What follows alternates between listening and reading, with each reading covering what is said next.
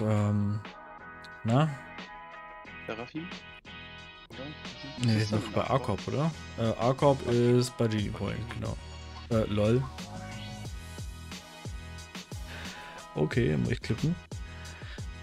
Ähm, kennt ihr schon das neue FS9 Steuer? Also, wer das noch nicht hat, ne, der braucht es auf jeden Fall. Jetzt in ihrem Crusader Zubehörmarkt die neue FS9 Steuerknüppel-Konfiguration. Das ist ein Gunner. Das ist das Geschütz. Genau. Und durch die Scheibe rausgeschossen. Gibt es das auch vom Whirlpool? Nee, ich glaube leider nicht.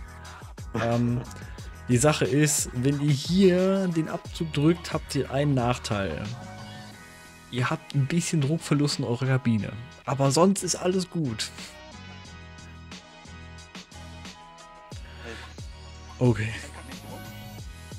Du musst die positiven Vorteile hervorheben. Positive Vorteile. Hier Hm, ist, äh, Das sieht auf jeden Fall. Ui, ui, ui. Ja, sieht schon.